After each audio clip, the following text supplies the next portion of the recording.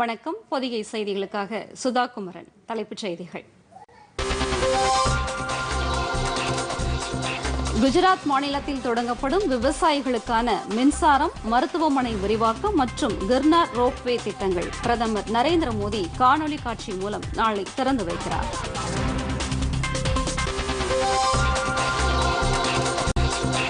Corona பெருந்தொற்று காலத்தில் அறிவியல் தொழில்நுட்பத்தின் தேவை அதிகரித்துள்ளதால் மாநில அரசுகளின் ஒத்துழைப்பு அவசியம். மத்திய சுகாதாரத்துறை அமைச்சர் ஹர்ஷ்வர்தன்.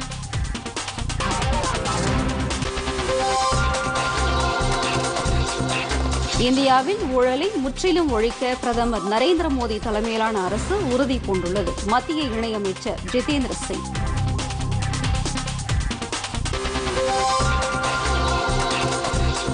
இந்திய கடற்படையில் முதல் பெண் விமானிகள் அணி சேர்ப்பு. பயிற்சியை சிறப்பாக முடித்த மூன்று பெண் விமானிகள் கடற்படையின் டார்னியர் விமானத்தில் இணைத்துக் கொள்ளப்பட்டனர்.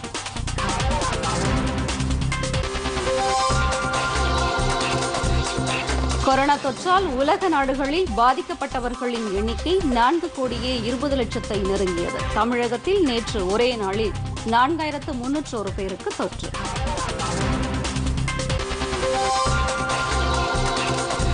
ரஷ்யாவின் ஸ்புட்னிக் கொரோனா தடுப்பூசியை இந்தியாவில் மனிதர்களிடம் பரிசோதித்து பார்க்க முடிவு. இந்திய மருந்து தர கட்டுப்பாட்டு நிறுவனம் அனுமதி.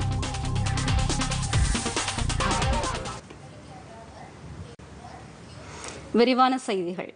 பீகார் மாநிலத்தில் பிஜேபி சார்பில் இன்று நடைபெறும் பிரம்மாண்ட தேர்தல் பிரச்சார பொதுக்கூட்டத்தில் பிரதமர் நரேந்திர மோடி பங்கேற்கிறார்.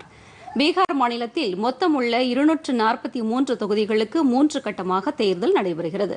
அக்டோபர் இருபத்தி எட்டு நவம்பர் மூன்று மற்றும் நவம்பர் ஏழாம் தேதிகளில் மூன்று கட்டமாக வாக்குப்பதிவு நடைபெறவுள்ளது சட்டப்பேரவை தேர்தல் நெருங்கியுள்ளதை அடுத்து அரசியல் கட்சிகள் முழுவீச்சில் தயாராகி வருகின்றன.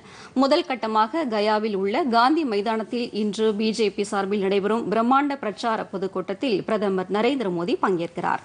கொரோனா தொற்று பிரச்சினையால் அனைத்து வழிகாட்டு நெறிமுறைகளையும் பின்பற்றி இந்த பிரச்சார பேரணி மற்றும் பொதுக்கூட்டங்கள் நடைபெறவுள்ளன ஒரே இடத்தில் தொண்டர்கள் குவிவதை தடுக்கும் வகையில் பிரதமர் பங்கேற்கும் நிகழ்ச்சியை நூற்றுக்கும் மேற்பட்ட சிறிய மைதானங்களில் நேரடியாக ஒளிபரப்ப அம்மாநில பிஜேபி ஏற்பாடு செய்துள்ளது.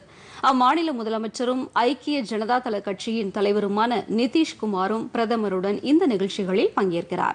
இரண்டாம் கட்ட தேர்தல் நடைபெறும் தொகுதிகளில் வருகிற இருபத்தி எட்டாம் தேதி பிரதமர் பிரச்சார நிகழ்ச்சிகளில் பங்கேற்கிறார். குஜராத் மாநிலத்தில் மூன்று முக்கிய திட்டங்களை பிரதமர் நரேந்திர மோடி நாளை காணொலி காட்சி மூலம் திறந்து வைக்கிறார். குஜராத் மாநில விவசாயிகளின் நலனுக்காக கிசான் சூரியோதய் யோஜனா திட்டத்தையும் யூஎன் மேத்தா இருதயவியல் மற்றும் ஆராய்ச்சி மையத்துடன் இணைந்த குழந்தைகள் இருதய மருத்துவமனை மற்றும் கிர்னார் கயிற்று வழிபாதை திட்டம் ஆகியவற்றை பிரதமர் நாளை திறந்து வைக்கிறார். இதில் விவசாயிகளின் நலனுக்காக கிசான் சூரியோதய் யோஜனா திட்டம் மூலம் அம்மாநில விவசாயிகளுக்கு காலை ஐந்து மணி முதல் ஒன்பது மணி வரை பகல் நேரத்தில் மின்சார விநியோகம் கிடைக்கும். இந்த மின் விநியோக உள்கட்டமைப்பை இரண்டாயிரத்தி இருபத்தி மூன்றாம் ஆண்டுக்குள் ஏற்படுத்துவதற்காக அம்மாநில அரசு மூவாயிரத்து ஐநூறு கோடி ரூபாய் நிதி ஒதுக்கியுள்ளது. நானூற்று எழுபது கோடி ரூபாய் செலவில் விரிவுபடுத்தப்படும் யுஎன் மேத்தா இருதயவியல் மற்றும் ஆராய்ச்சி மையத்தில் படுக்கைகளின் எண்ணிக்கை நானூற்று ஐம்பதிலிருந்து ஆயிரத்து இருநூற்று ஐம்பத்தி ஒன்றாக அதிகரிக்கப்பட உள்ளது. இதன் மூலம் நாட்டின் மிகப்பெரிய ஒற்றை பல்நோக்கு இருதயவியல் கல்வி நிலையமாகவும் உலகின் மிகப்பெரிய ஒற்றை பல்நோக்கு இருதயவியல் கல்வி நிலையங்களில் ஒன்றாகவும் இந்த மருத்துவமனை உருவாகும். மூன்றாவது திட்டமான கிர்னார் ரோப்வே திட்டம் மூலம் சர்வதேச சுற்றுலா வரைபடத்தில் கிர்னார் மீண்டும் இடம்பெற வழிவகை செய்யப்பட்டுள்ளது. கிர்னார் மலையை சுற்றியுள்ள பசுமையான இயற்கை அழகை சுற்றுலா பயணிகள் கண்டு ரசிக்கும் வகையில் இந்த திட்டம் செயல்படுத்தப்பட உள்ளது. கயிற்றுப்பாதை மூலம் இயக்கப்படும் முப்பது பெட்டிகள் கொண்ட இரண்டு புள்ளி மூன்று கிலோமீட்டர் தூரத்தை வெறும் ஏழு புள்ளி ஐந்து நிமிடங்களில் சென்றடையும். தற்சார்பு இந்தியாவை கட்டமைப்பதில் மத்திய மாநில அரசுகளிடையே நல்ல புரிதலும் ஒத்துழைப்பும் ஏற்பட வேண்டியது மிக அவசியம் என்று மத்திய சுகாதாரம் மற்றும் குடும்ப நலத்துறை அமைச்சர் ஹர்ஷ்வர்தன் கேட்டுக் கொண்டுள்ளார் மாநிலங்களின் அறிவியல் மற்றும் தொழில்நுட்ப அமைச்சர்களோடு தற்போது இயற்றப்பட்டு வரும் அறிவியல் தொழில்நுட்பம் மற்றும் புதுமை கொள்கை இரண்டாயிரத்து இருபது தொடர்பாக காணொலி காட்சி மூலம் நேற்று நடைபெற்ற ஆலோசனைக் கூட்டத்தில் அமைச்சர் ஹர்ஷ்வர்தன் பங்கேற்று பேசினார். நாட்டின் அறிவியல் சூழ்நிலைகளுக்கு ஏற்ப மறு புத்தாக்கம் அளிப்பதும் முன்னுரிமைகளை மறுசீரமைப்பதும் அறிவியல் மற்றும் தொழில்நுட்பத்துறையில் எடுக்கப்படும் முயற்சிகள் நேரடியாக நமது சமூகம் மற்றும் பொருளாதாரத்திற்கு நன்மை அளிப்பதையும் லட்சியமாக கொண்டு மத்திய அரசு செயல்பட்டு வருவதாக அப்போது அவர் தெரிவித்தார். ஆதாரம் சார்ந்த ஒருங்கிணைந்த தேசிய அறிவியல் தொழில்நுட்பம் மற்றும் புதுமை கொள்கை இரண்டாயிரத்து இருபதை கட்டமைக்கும் செயல்பாட்டிலும் இந்த திட்டம் சமூகத்தின் அடிமட்டம் வரை சென்றடையும் வகையிலும் மாநில அரசுகள் ஒத்துழைப்பு அளிக்க வேண்டும் என்றும் அமைச்சர் ஹர்ஷ்வர்தன் கேட்டுக் கொண்டார் கொரோனா போன்ற பெருந்தொற்று காலத்தில் அறிவியல் மற்றும் தொழில்நுட்பத்தின் தேவை அதிகரித்திருப்பதாகவும் இதனால் மத்திய மாநில அரசுகளிடையே நல்ல புரிதல் ஏற்பட வேண்டும் என்றும் அவர் வலியுறுத்தினார். இந்தியாவில் ஊழலை முற்றிலும் ஒழிக்க பிரதமர் நரேந்திர மோடி தலைமையிலான அரசு உறுதி பூண்டுள்ளதாக மத்திய இணையமைச்சர் ஜிதேந்திர சிங் தெரிவித்துள்ளார். ஊழலுக்கு எதிரான ஜி இருபது பணிக்குழுவின் முதல் கூட்டத்தில் நேற்று பங்கேற்று பேசிய அவர் ஊழல் மற்றும் கணக்கில் காட்டப்படாத பணத்திற்கு எதிராக கடந்த ஆறு வருடங்களில் பிரதமர் நரேந்திர மோடி தலைமையிலான அரசு பல்வேறு உறுதியான நடவடிக்கைகளை மேற்கொண்டு வருவதாக தெரிவித்தார். லஞ்சம் பெறுபவர்கள் மட்டுமல்லாது லஞ்சம் கொடுப்பவர்கள் மீதும் நடவடிக்கை எடுக்கும் வகையில் முப்பது ஆண்டுகால வரலாற்றுக்கு பிறகு ஆயிரத்து தொள்ளாயிரத்து எண்பத்தி எட்டாம் ஆண்டைய ஊழல் தடுப்பு சட்டத்தை மத்திய அரசு திருத்தியுள்ளதாகவும் இந்த நடவடிக்கை மூலம் பெரிய நிறுவனங்களில் ஊழல்கள் தடுக்கப்படுவதுடன் லஞ்சம் கொடுப்பவரும் அம்பலப்படுத்தப்படுவார் என்றும் அவர் தெரிவித்தார். வெளிப்படையான நடவடிக்கைகளை ஏற்படுத்தி குடிமக்களை மையமாக கொண்ட பொறுப்புணர்வுடன் கூடிய ஆளுமையை செயல்படுத்துவதே மத்திய அரசின் முக்கிய நோக்கம் என்றும் இதன் மூலம் நாட்டில் ஊழலை முற்றிலுமாக ஒழிக்க வழி ஏற்படும் என்றும் பிரதமர் அலுவலக இணை அமைச்சர் ஜிதேந்திர சிங் அப்போது குறிப்பிட்டார். மத்திய வெளியுறவு அமைச்சர் ஜெய்சங்கர் மொராக்கோ நாட்டு வெளியுறவு அமைச்சர் நாசர் பௌரிட்டாவுடன் நேற்று காணொலி காட்சி மூலம் இருதரப்பு நல்லுறவுகள் குறித்து ஆலோசனை நடத்தினார். இந்திய ஆப்பிரிக்க மாநாட்டை முன்னிட்டு இரண்டாயிரத்து பதினைந்தாம் ஆண்டு மொராக்கோ மன்னரின் வருகையின் தொடர்ச்சியாக இந்தியாவுக்கும் மொராக்காவுக்கும் இடையே இருபத்தி மூன்று முறை அமைச்சர்கள் மட்டத்திலான பேச்சுவார்த்தைகள் நடத்தப்பட்டுள்ளன. நாற்பதுக்கும் மேற்பட்ட புரிந்துணர்வு ஒப்பந்தங்களும் கையெழுத்தாகியுள்ளன. தகவல் தொழில்நுட்பம் கல்வி கலாச்சாரம் விவசாயம் சட்ட நடவடிக்கைகளில் ஒத்துழைப்பு போன்ற துறைகளில் இரு நாடுகளுக்கும் இடையே மிகுந்த நல்லுறவு ஏற்பட்டுள்ளது. அந்நாட்டு வெளியுறவு அமைச்சர் நாசர் பௌரிட்டாவுடனான பேச்சுவார்த்தையின் போது மொராக்காவின் பொருளாதார வளர்ச்சி மற்றும் மேம்பாட்டுக்கான இந்தியாவின் ஒத்துழைப்பை அமைச்சர் ஜெய்சங்கர் உறுதிப்படுத்தினார். இருதரப்பு நல்லுறவுகளை மேலும் வலுப்படுத்துவது ரசாயனம் ஜவுளி மருந்து உற்பத்தி மோட்டார் வாகன உதிரிபாகம் உள்ளிட்ட துறைகளில் வர்த்தகம் மற்றும் முதலீட்டு ஒத்துழைப்புகளை மேலும் வலுப்படுத்துவது குறித்து இருவரும் ஆலோசித்தனர். மேலும் சர்வதேச விவகாரங்கள் ஐநா மறுசீரமைப்பு தீவிரவாதத்திற்கு எதிரான நடவடிக்கைகள் மாறிவரும் பருவநிலை மாற்றங்கள் போன்ற துறைகளில் இந்தியாவுக்கும் மொரோக்காவுக்கும் இடையேயான நல்லுறவு குறித்து இருவரும் விரிவாக விவாதித்தனர். இயற்கை மூலிகைகளுக்கான தேவை உலகெங்கும் கொரோனா சிகிச்சைக்காக அதிகரித்துள்ளதாக மத்திய ஆயுஷ் இணை அமைச்சர் ஸ்ரீபத் எசோ நாயக் தெரிவித்துள்ளார். புதுதில்லியில் அனைத்து இந்திய ஆயுர்வேத நிறுவனத்தின் மண்டல மூல மருந்து களஞ்சியத்தை காணொலி காட்சி வாயிலாக தொடங்கி வைத்து பேசினார். அப்போது பேசிய அமைச்சர் இயற்கை மருத்துவம் மற்றும் மூலிகை பொருட்களுக்கான தேவை உலகெங்கும் அதிகரித்து வருவதாகவும் அஸ்வகந்தா கிலோய் துளசி மூலேதி ஆகிய முக்கிய மூலிகைகளுக்கான தேவை கொரோனா சிகிச்சைக்காக மேலும் அதிகரித்துள்ளது என கூறியுள்ளார். தேசிய ஆயுஷ் இயக்கத்தின் கீழ் மருத்துவ தாவரங்களை பயிரிடுவதை மண்டல மூல மருந்து களஞ்சியம் முக்கிய பங்கு வகிக்கிறது. இந்த மூல மருந்துகளை பாதுகாக்கவும் ஆவணம் செய்யவும் இந்த களஞ்சியம் வழிவகுக்கும் என மத்திய ஆயுஷ் இணையமைச்சர் தெரிவித்துள்ளார். தொழிற்சாலை பணியாளர்களுக்கான நுகர்வோர் புதிய விலை பட்டியலை மத்திய தொழிலாளர் நலத்துறை அமைச்சர் சந்தோஷ்குமார் கங்குவார் நேற்று வெளியிட்டார். பொதுத்துறை நிறுவனங்கள் வங்கிகள் காப்பீட்டு நிறுவனங்களில் பணியாற்றும் ஊழியர்களுக்கான சலுகை திட்டங்கள் குறித்து இதன் மூலம் அறிந்து கொள்ள முடியும் என்றும் அமைச்சர் கங்குவார் அப்போது குறிப்பிட்டார். பொருளாதார சீரமைப்புக்கான முக்கியமான ஒரு குறியீடாக இந்த பட்டியல் விளங்கும் என்றும் அவர் கூறினார். மத்திய அரசின் மேக் இன் இந்தியா கொள்கையை பின்பற்றுவதற்காக ஒப்பந்த புள்ளி முறையில் கப்பல்களை வாடகைக்கு அமர்த்தும் உரிம நிபந்தனையை கப்பல் போக்குவரத்துத்துறை அமைச்சகம் மறு ஆய்வு செய்து திருத்தியுள்ளது. இந்தியாவில் கட்டப்படும் கப்பல்களுக்கான தேவையை ஊக்குவிக்கும் வகையில் இந்தியாவில் கட்டப்படும் கப்பல்களை வாடகைக்கு அமர்த்துவதில் முன்னுரிமை அளிக்க முடிவு செய்யப்பட்டுள்ளது. இதற்கேற்ப உரிம நிபந்தனை வழிகாட்டுதல்களில் திருத்தம் செய்யப்பட்டுள்ளது. உரிமம் தொடர்பான புதிய நடைமுறைகள் தவிர கப்பல் கட்டும் நிதியுதவி திட்டத்தின் கீழ் நீண்டகால இடைக்கால மானியத்தையும் கப்பல் போக்குவரத்து துறை அமைச்சகம் வழங்குகிறது. இத்திட்டத்தின் கீழ் அறுபத்தி ஒரு கோடியே ஐந்து லட்சம் ரூபாயை கப்பல் போக்குவரத்து துறை அமைச்சகம் வழங்கியுள்ளது. இந்த மாற்றி அமைக்கப்பட்ட வழிகாட்டுதல்கள் இந்தியாவில் கப்பல் கட்டுவதை ஊக்குவிக்கும் என்று அரசு தெரிவித்துள்ளது. இதுகுறித்து கப்பல் போக்குவரத்து துறை அமைச்சர் மன்சுக் மாண்டாவியா கூறுகையில் பிரதமரின் தற்சார்பு இந்தியா தொலைநோக்கு திட்டத்தின் கீழ் உள்நாட்டில் கப்பல் கட்டுதலை ஊக்குவிக்கும் வகையில் கப்பல் போக்குவரத்து துறை அமைச்சகம் செயல்படுவதாக தெரிவித்தாா் நாட்டின் தற்போதைய பொருளாதார நிலைமையை கருத்தில் கொண்டு இருபதாயிரம் கோடி ரூபாய் மதிப்பிலான மத்திய அரசு பத்திரங்களை வாங்க ரிசர்வ் வங்கி முடிவெடுத்துள்ளது. திறந்த சந்தை செயல்பாடு என்ற அடிப்படையில் இந்த அரசு பத்திரங்கள் வருகிற இருபத்தி ஒன்பதாம் தேதி வெளியிடப்படும் என்றும் அறிவிக்கப்பட்டுள்ளது. இதன் மூலம் வர்த்தக வங்கிகளுக்கு மூலதனத்தை அளிக்க அரசு பத்திரங்கள் ரிசர்வ் வங்கி மூலம் வாங்கப்பட உள்ளன. நாட்டில் பணப்புழக்கத்தை அதிகரிக்கவும் பொருளாதாரத்தை முன்னேற்ற பாதையில் கொண்டு செல்லவும் இந்த நடவடிக்கைகள் வழிவகுக்கும் என்று தெரிகிறது. குறைந்தபட்ச ஆதரவு விலையில் நடப்பாண்டு கரீப் பருவத்தில் தமிழகம் உள்ளிட்ட எட்டு மாநிலங்களைச் சேர்ந்த பத்து லட்சத்து ஒன்பதாயிரம் விவசாயிகளிடமிருந்து இதுவரை நெல் கொள்முதல் செய்யப்பட்டுள்ளதாக மத்திய அரசு தெரிவித்துள்ளது. இது தொடர்பாக அரசு வெளியிட்டுள்ள செய்திக்குறிப்பில் தமிழ்நாடு பஞ்சாப் ஹரியானா உத்தரப்பிரதேசம் உத்தராகண்ட் சண்டிகர் ஜம்மு காஷ்மீர் மற்றும் கேரளா ஆகிய மாநிலங்களில் நெல் கொள்முதல் தீவிரமாக நடைபெற்று வருவதாக கூறப்பட்டுள்ளது. நேற்று வரை நூற்று பதினாறு புள்ளி ஆறு லட்சம் மெட்ரிக் டன் நெல் கொள்முதல் செய்யப்பட்டுள்ளதாக உள்ளதாகவும் கடந்த ஆண்டு இதே காலகட்டத்தில் தொன்னூறு புள்ளி ஏழு ஆறு லட்சம் டன் மட்டுமே கொள்முதல் செய்யப்பட்டதாகவும் தெரிவிக்கப்பட்டுள்ளது. இதேபோல் ஐம்பத்தி இரண்டு கோடியே நாற்பது லட்சம் ரூபாய் மதிப்பிலான ஐந்தாயிரத்து எண்பத்தி ஒன்பது மெட்ரிக் டன் கொப்பரை கர்நாடகா மற்றும் தமிழகத்தில் உள்ள மூன்றாயிரத்து தொள்ளாயிரத்து அறுபத்தி ஒரு விவசாயிகளிடமிருந்து குறைந்தபட்ச ஆதரவு விலையில் கொள்முதல் செய்யப்பட்டிருப்பதாக அரசு தெரிவித்துள்ளது. கொரோனா பரவல் தடுப்பு நடவடிக்கையாக கடந்த ஆறு மாதங்களாக விதிக்கப்பட்டிருந்த விசா கட்டுப்பாடுகளை உள்துறை அமைச்சகம் தளர்த்தியுள்ளது. இதையடுத்து சுற்றுலா விசாவை தவிர இதர விசாக்களை அளிக்க முடிவு செய்யப்பட்டுள்ளது. இந்தியாவிற்கு வர விரும்பும் குடிமக்கள் இந்திய வம்சாவழியினர் மற்றும் வெளிநாட்டவர்களுக்கு விசா வழங்கும் நடவடிக்கை தொடங்கப்படும் என்று உள்துறை அமைச்சகம் அறிவித்துள்ளது.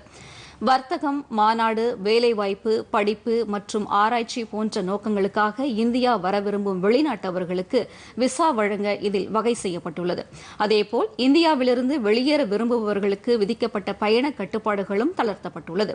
மருத்துவ சிகிச்சைக்காக இந்தியா வர விரும்பும் வெளிநாட்டினர் மருத்துவ உதவியாளர்களுக்கும் சேர்த்து மருத்துவ விசாவுக்கு விண்ணப்பிக்கலாம் என்று தெரிவிக்கப்பட்டுள்ளது. விசா காலாவதி ஆகியிருந்தால் இந்திய தூதரகத்தை அணுகி புதிய விசாவை பெற்றுக் கொள்ளலாம் என்று அறிவிக்கப்பட்டுள்ளது. அறிவிக்கப்பட்டுள்ளது வந்தே பாரத் திட்டம் சிறப்பு விமான போக்குவரத்து அல்லது விமான போக்குவரத்து துறை அமைச்சகம் அனுமதிக்கும் வர்த்தக விமானங்கள் மூலம் பயணிகள் வருகை தரலாம் என்றும் கூறப்பட்டுள்ளது. எனினும் அனைத்து பயணிகளும் கொரோனா தடுப்பு நடவடிக்கைக்காக தனிமைப்படுத்துதல் உள்ளிட்ட வழிகாட்டு நெறிமுறைகளை கட்டாயம் பின்பற்ற வேண்டும் என்று உள்துறை அமைச்சகம் தெரிவித்துள்ளது. சிறிய இடைவெளிக்கு பிறகு செய்திகள் தொடரும்.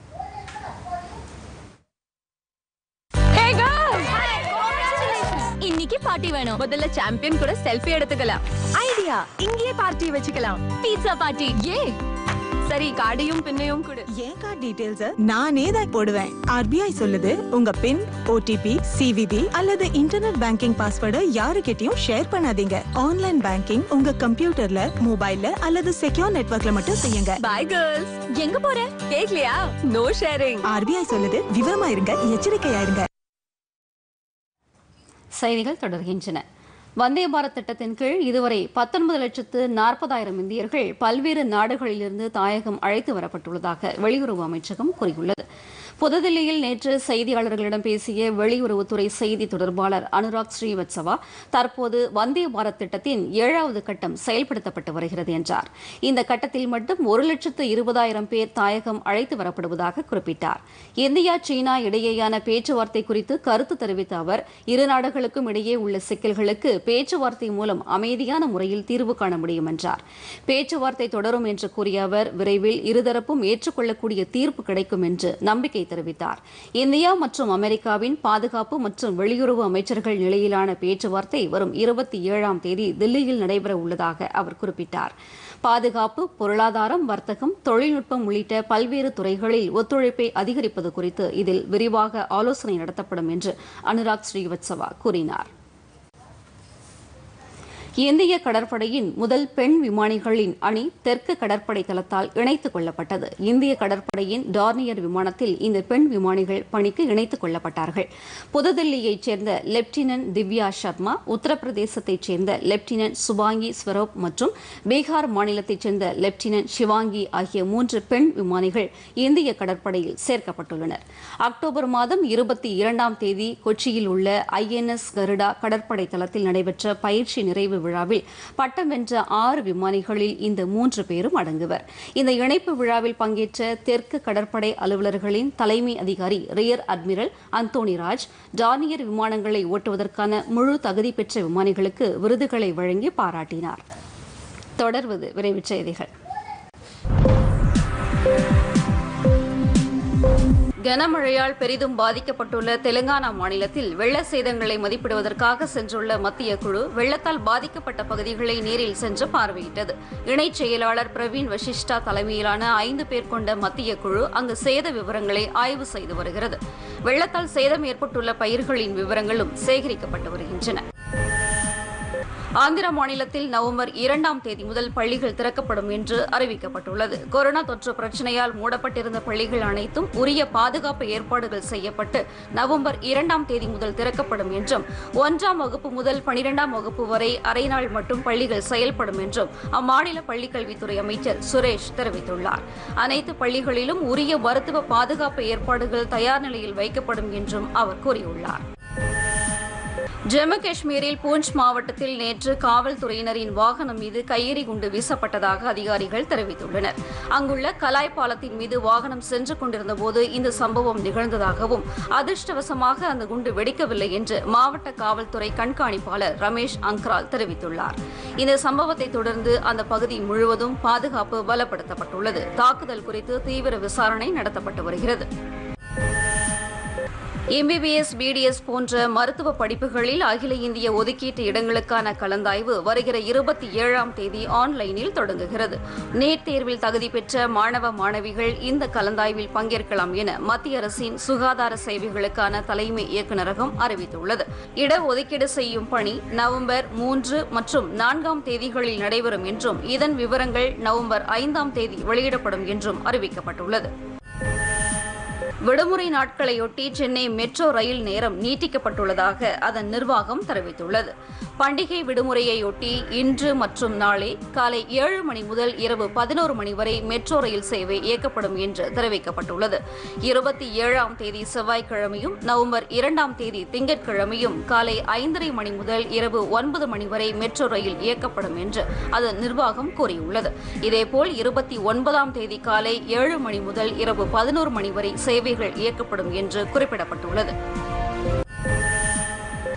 திண்டுக்கல் மாவட்டம் பழனி அருகே மரத்தின் மீது கார் மோதிய விபத்தில் ஒரே குடும்பத்தைச் சேர்ந்த நான்கு பேர் பரிதாபமாக உயிரிழந்தனர். பழனி அருகே கரடிக்குட்டம் என்ற இடத்திற்கு அருகே சென்று கொண்டிருந்தபோது காரின் டயர் வெடித்து நிலை தடுமாறி சாலையோரத்தில் இருந்த மரத்தின் மீது மோதியது. இதில் காரில் பயணம் செய்த அக்கப்பன் கவுண்டன் புதூர் கிராமத்தைச் சேர்ந்த மணிவேல் நடராஜ் கருப்பணன் மற்றும் முத்தம்மாள் என்ற நான்கு பேர் சம்பவ இடத்திலேயே உயிரிழந்தனர்.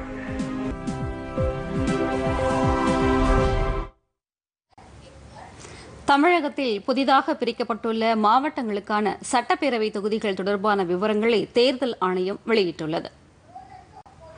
செங்கல்பட்டு விழுப்புரம் மாவட்டங்களுக்கு ஏழு தொகுதிகளும் வேலூர் நெல்லை தென்காசி மாவட்டங்களுக்கு ஐந்து தொகுதிகளும் காஞ்சிபுரம் திருப்பத்தூர் ராணிப்பேட்டை கள்ளக்குறிச்சி ஆகிய மாவட்டங்களுக்கு நான்கு தொகுதிகளும் பிரிக்கப்பட்டு அறிவிப்பு வெளியிடப்பட்டுள்ளது. செங்கல்பட்டு மாவட்டத்தில் சோழிங்கநல்லூர் பல்லாவரம் தாம்பரம் செங்கல்பட்டு திருப்போரூர் செய்யூர் மதுராந்தகம் ஆகிய ஏழு தொகுதிகள் இடம்பெற்றுள்ளன. காஞ்சிபுரம் மாவட்டத்தில் ஆலந்தூர் ஸ்ரீபெரும்புதூர் உத்திரமேரூர் காஞ்சிபுரம் ஆகிய நான்கு தொகுதிகளும் திருப்பத்தூர் மாவட்டத்தில் வாணியம்பாடி ஆம்பூர் ஜோலார்பேட்டை திருப்பத்தூர் ஆகிய நான்கு தொகுதிகளும் இடம்பெற்றுள்ளன. வேலூர் மாவட்டத்தில் காட்பாடி வேலூர் அணைக்கட்டு குடியாத்தம் கீழ வைத்தியனாங்குப்பம் ஆகிய ஐந்து தொகுதிகளும் ராணிப்பேட்டை மாவட்டத்தில் அரக்கோணம் சோளிங்கர் ராணிப்பேட்டை ஆற்காடு ஆகிய நான்கு தொகுதிகளும் இடம்பெற்றுள்ளன. விழுப்புரம் மாவட்டத்தில் செஞ்சி மயிலம் திண்டிவனம் வானூர் விழுப்புரம் விக்கிரவாண்டி திருக்கோவிலூர் ஆகிய ஏழு தொகுதிகளும் கள்ளக்குறிச்சி மாவட்டத்தில் உளுந்தூர்பேட்டை ரிஷிவந்தியம் சங்கராபுரம் கள்ளக்குறிச்சி தனி தொகுதி என நான்கு தொகுதிகளும் இடம்பெற்றுள்ளன. நெல்லை மாவட்டத்தில் நெல்லை அம்பாசமுத்திரம் பாளையங்கோட்டை நாங்குநேரி ராதாபுரம் ஆகிய ஐந்து தொகுதிகளும் தென்காசி மாவட்டத்தில் சங்கரன்கோவில் தனி தொகுதியாகவும் வாசுதேவநல்லூர் தனி தொகுதியாகவும் கடையநல்லூர் தென்காசி ஆலங்குளம் ஆகிய ஐந்து சட்டப்பேரவை தொகுதிகளும் இடம்பெற்றுள்ளன.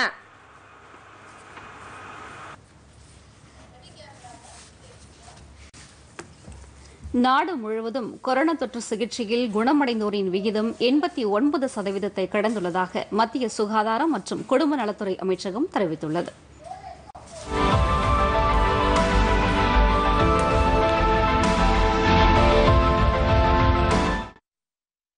நாட்டில் கொரோனா தொற்று பாதிப்பிலிருந்து கடந்த இருபத்தி நான்கு மணி நேரத்தில் எழுபத்தொன்பதாயிரத்து நானூற்று பதினைந்து பேர் குணமடைந்துள்ளனர். இதன் மூலம் குணமடைந்தோர் மொத்த எண்ணிக்கை அறுபத்தி எட்டு லட்சத்து எழுபத்து நான்காயிரத்து ஐநூற்று பதினெட்டாக உயர்ந்துள்ளது. மேலும் குணமடைந்தோர் விகிதம் எண்பத்தி ஒன்பது புள்ளி இரண்டு பூஜ்ஜியம் சதவீதமாக அதிகரித்துள்ளது. ஏழு லட்சத்து பதினைந்தாயிரத்து எண்ணூற்று பனிரெண்டு பேர் தற்போது சிகிச்சை பெற்று வருவதாக மத்திய சுகாதாரத்துறை தெரிவித்துள்ளது. நாடு முழுவதும் புதிதாக ஐம்பத்தைந்தாயிரத்து எண்ணூற்று முப்பத்தி ஒன்பது பேருக்கு தொற்று பாதிப்பு உறுதி செய்யப்பட்டுள்ளது. இதையடுத்து பாதிக்கப்பட்டோரின் மொத்த எண்ணிக்கை எழுபத்தேழு லட்சத்து ஆறாயிரத்து தொள்ளாயிரத்து நாற்பத்தி ஆறாக உயர்ந்துள்ளது. கடந்த இருபத்தி நான்கு மணி நேரத்தில் சிகிச்சை பலனின்றி எழுநூற்று இரண்டு பேர் உயிரிழந்துள்ளனர். தமிழகத்தில் நேற்று ஒரே நாளில் நான்காயிரத்து முன்னூற்று ஒரு பேர் கொரோனா பாதிப்பிலிருந்து குணமடைந்துள்ளனர். இதனால் குணமடைந்தவர்களின் மொத்த எண்ணிக்கை ஆறு லட்சத்து ஐம்பதாயிரத்து எண்ணூற்று ஐம்பத்தி ஆறாக உள்ளது. இது தொடர்பாக மக்கள் நல்வாழ்வுத்துறை வெளியிட்ட அறிக்கையில் மூன்றாயிரத்து எண்பத்தி ஆறு பேருக்கு கொரோனா உறுதியாகியுள்ளதாக தெரிவிக்கப்பட்டுள்ளது. இதனால் பாதிக்கப்பட்டவர்களின் எண்ணிக்கை ஆறு லட்சத்து தொன்னூற்றி ஏழாயிரத்து நூற்று பதினான்காக அதிகரித்துள்ளது. மேலும் முப்பத்தி ஒன்பது பேர் உயிரிழந்தனர். இதையடுத்து கொரோனா தொற்றால் உயிரிழந்தவர்களின் மொத்த எண்ணிக்கை பத்தாயிரத்து எழுநூற்று எண்பதானது. தற்போது முப்பத்தைந்தாயிரத்து நானூற்று எண்பது பேர் சிகிச்சையில் உள்ளனர். சென்னையில் எண்ணூற்று நாற்பத்தைந்து பேருக்கு தொற்று உறுதி செய்யப்பட்டுள்ளது. உலகளவில் கொரோனா தொற்றால் பாதிக்கப்பட்டோர் எண்ணிக்கை நான்கு கோடியே பத்தொன்பது லட்சத்து அறுபத்து மூன்றாயிரத்து எண்ணூற்று அறுபத்தி எட்டாக அதிகரித்துள்ளது. மூன்று கோடியே பதினோரு லட்சத்து அறுபத்தி ஒன்பதாயிரத்து நானூற்று நாற்பத்தி ஆறு பேர் குணமடைந்துள்ளனர். பதினோரு லட்சத்து நாற்பத்தி இரண்டாயிரத்து நூற்று பதிமூன்று பேர் உயிரிழந்தனர்.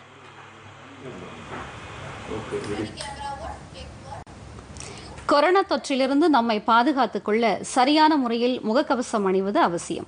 இது குறித்து நாடு தழுவிய விழிப்புணர்வு இயக்கத்தை டிடி நியூஸ் அலைவரிசை மேற்கொண்டு வருகிறது.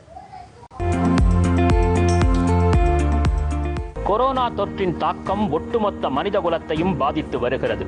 உலகம் முழுவதும் இந்நோய் தொற்றால் பாதிக்கப்படுவோர் எண்ணிக்கையும் நாளுக்கு நாள் அதிகரித்து வருகிறது. இதை ஒழிக்க தடுப்பூசியோ தடுப்பு மருந்தோ கண்டுபிடிக்கப்படும் வரை நாம் எச்சரிக்கையுடனும் பாதுகாப்புடனும் இருக்க வேண்டியது மிகவும் அவசியமாகும். முகக்கவசம் அணிவது கொரோனா தொற்று பரவலை தடுப்பதில் நல்ல பலனை அளித்து வருவதாக உலக சுகாதார அமைப்பு தெரிவித்துள்ளது. பல்வேறு ஆராய்ச்சிகளும் இதையே நிரூபித்துள்ளன.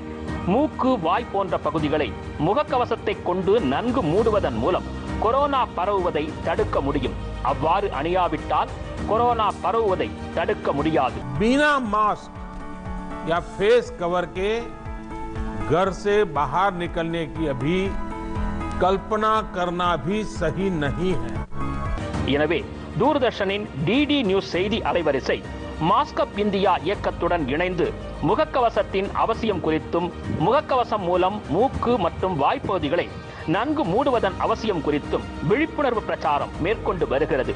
நமது குடும்ப உறுப்பினர்கள் மற்றும் நண்பர்களுக்கு முகக்கவசத்தை சரியான முறையில் அணியும்படி கேட்டுக்கொள்வோம்.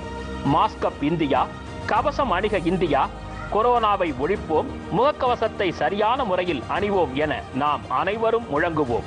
நோய்க்கு எதிரான நடவடிக்கையாக முகக்கவசம் அணிகிறோம் கைகளை சுத்தப்படுத்திக் கொள்ளுதல் கூட்டமான இருக்க இடங்களில் செல்லாமல் தவிர்ப்பது அவசியம் ஏற்பட்ட நிகழ்வுகளில் மட்டும் கலந்து கொள்கிற ஒரு நடைமுறையை பின்பற்ற வேண்டும் என்ற அறிவுரையை உலக சுகாதார அமைப்பும் இந்திய மருத்துவக் கழகமும் இந்திய அரசாங்கமும் தொடர்ந்து தொலைக்காட்சி மற்றும் பல்வேறு ஊடகங்களிலே ஒளிபரப்பிக் கொண்டிருக்கிறது.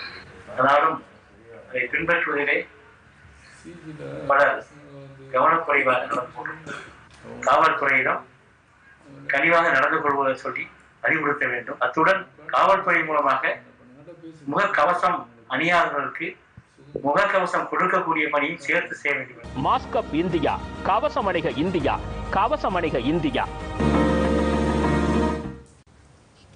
மத்திய மேற்கு வங்கக்கடல் மற்றும் அதனை ஒட்டியுள்ள வடமேற்கு வங்கக்கடல் பகுதிகளில் நிலவும் ஆழ்ந்த காற்றழுத்த தாழ்வு மண்டலம் காரணமாகவும் வளிமண்டல மேலடுக்கு சுழற்சி காரணமாகவும் வட தமிழகம் மற்றும் புதுச்சேரியில் இடியுடன் கூடிய லேசானது முதல் மிதமானது வரை மழை பெய்ய வாய்ப்புள்ளதாக சென்னை வானிலை ஆய்வு மையம் தெரிவித்துள்ளது.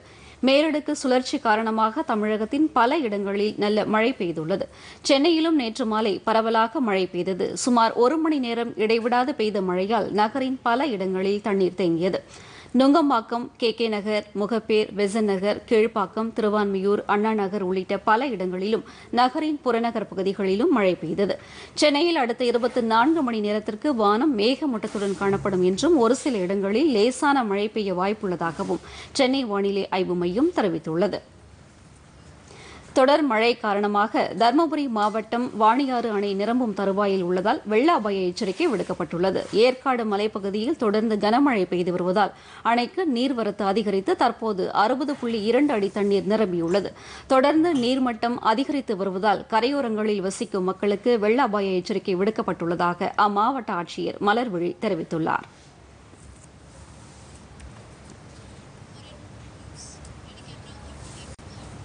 அடுத்து வருவது உலகச் செய்திகள்.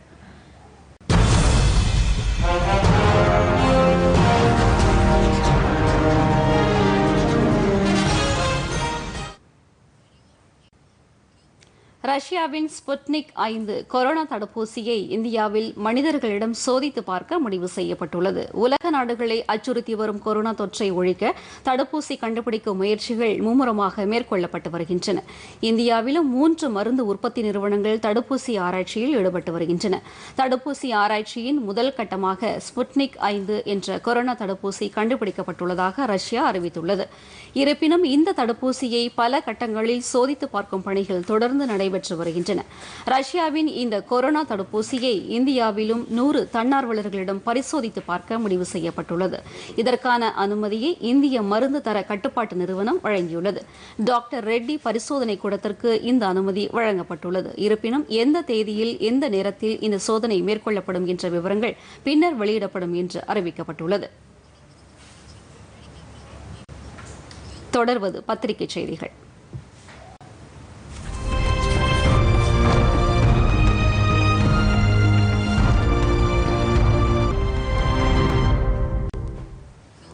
ரயில்வே ஊழியர்களுக்கு எழுபத்தி எட்டு நாள் ஊதியம் போனஸாக வழங்கப்படும் என்று அறிவிக்கப்பட்டுள்ளது. இதன்படி ஒரு ஊழியருக்கு பதினெட்டாயிரம் ரூபாய் வரை போனஸாக கிடைக்க வாய்ப்பு. தினத்தந்தி.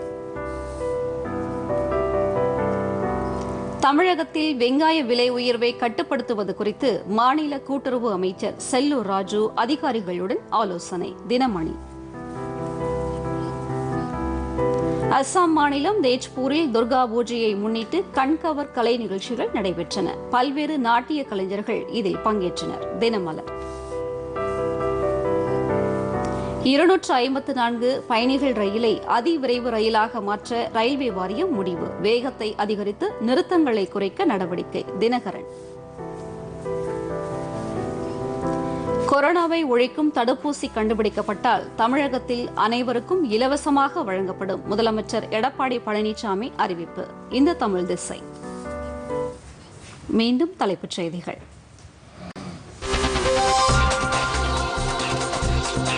குஜராத் மாநிலத்தில் தொடங்கப்படும் விவசாயிகளுக்கான மின்சாரம் மருத்துவமனை விரிவாக்கம் மற்றும் கிர்னார் ரோப்வே திட்டங்கள். பிரதமர் நரேந்திர மோடி காணொலி காட்சி மூலம் நாளை திறந்து வைக்கிறார். கொரோனா பெருந்தொற்று காலத்தில் அறிவியல் தொழில்நுட்பத்தின் தேவை அதிகரித்துள்ளதால் மாநில அரசுகளின் ஒத்துழைப்பு அவசியம். மத்திய சுகாதாரத்துறை அமைச்சர் ஹர்ஷ்வர்தன்.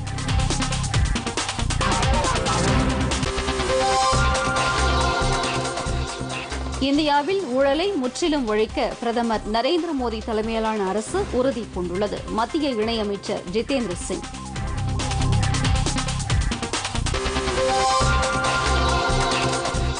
இந்திய கடற்படையில் முதல் பெண் விமானிகள் அணி சேர்ப்பு. பயிற்சியை சிறப்பாக முடித்த மூன்று பெண் விமானிகள் கடற்படையின் டார்னியர் விமானத்தில் இணைத்துக் கொள்ளப்பட்டனர்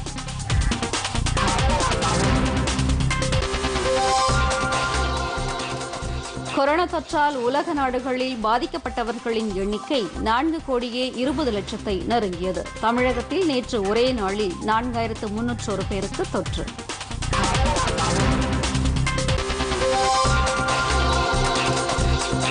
ரஷ்யாவின் ஸ்புட்னிக் கொரோனா தடுப்பூசியை இந்தியாவில் மனிதர்களிடம் சோதித்து பார்க்க முடிவு. இந்திய மருந்து தர கட்டுப்பாட்டு நிறுவனம் அனுமதி. இத்துடன் இந்த செய்தியறிக்கை நிறைவடைந்தன. மீண்டும் செய்திகள் காலை பதினோரு மணிக்கு. வணக்கம்.